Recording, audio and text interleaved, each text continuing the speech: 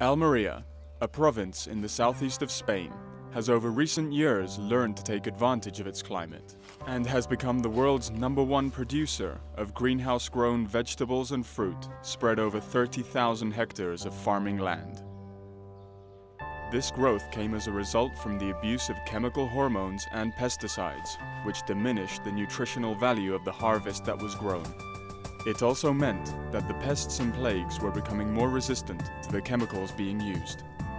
Towards the end of the 20th century, the public became consciously aware of what was going on and demanded cleaner and safer produce.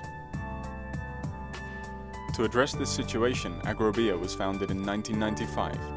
They decided to invest heavily in the idea of biological pollination with the help of bumblebees.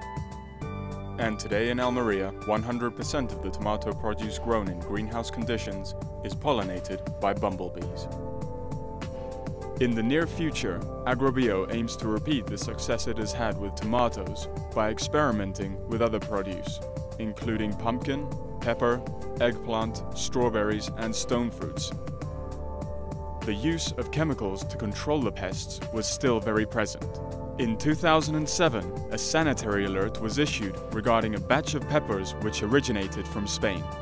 The result was a total prohibition of Spanish-grown vegetables and fruit to be sold anywhere in the European community. The growers had no choice but to adapt to the new methods of sustainable agriculture in order to keep selling their produce. This led to one of the most important periods of technological advances in the field of cultivation locally known as Almeria's Green Revolution. Agrobio is an innovative company, focusing on developing new technologies for sustainable agriculture. Using these methods not only favors the produce grown, but also the insects themselves. It also drastically reduces the amount of chemicals being used during the growth and harvesting process. Agrobio invests heavily in their R&D department. With their dynamic team of experts, they are always able to remain one step ahead in the industry, investigating new processes, technologies, and different insects to further the reaches of sustainable agriculture. Insects are produced at Agrobio's biological factory, where each insect's life cycle is artificially recreated in a well-controlled environment, allowing them to be produced properly in mass quantities. Various projects Agrobio is developing are centered around the production of tomatoes. In under two years, Agrobio's R&D department was able to find a way to control the tuta absoluta, which used to be the most dangerous pest for tomato growers in Europe and Africa. It was controlled by growing in mass quantities its natural predator, the Trichogramma achaeae. Never before had a solution to a problem in the agricultural world been offered and implemented in such a short time. Banker plants are another project Agrobio is constantly developing.